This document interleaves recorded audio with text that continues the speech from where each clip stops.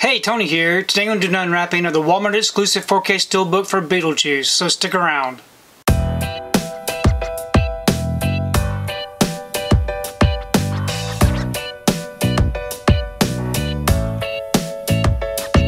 So today I wanted to take time to do an unwrapping of the Walmart exclusive 4K Steelbook for Beetlejuice.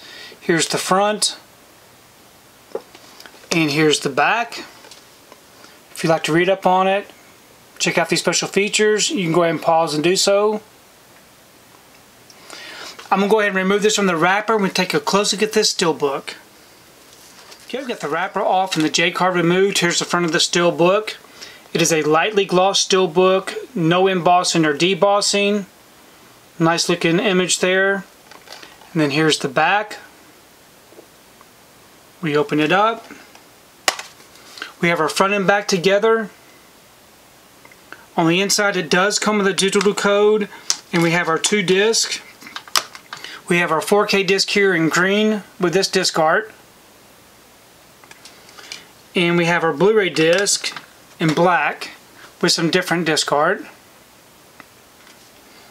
And we do have some great looking inside artwork.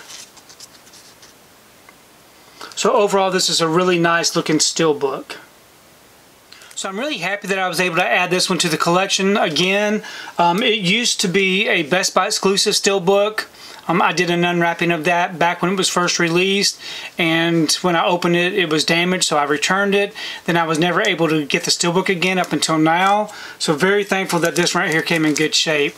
Please leave me a comment below. Let me know what you think, what you think about this particular steelbook unwrapping and also let me know your thoughts on Beetlejuice because I really do enjoy reading your comments. But thanks for taking the time to watch this video and we will see you next time.